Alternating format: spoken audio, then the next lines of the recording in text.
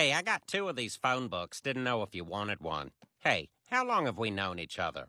Long time. And yet we've never discussed mother's maiden names, the names of old pets, high school mascots, favorite teachers. Heck, I don't even know the last four digits of your social. Cleveland, do you need to borrow some money? I do. They're gonna kill Dinah. Really?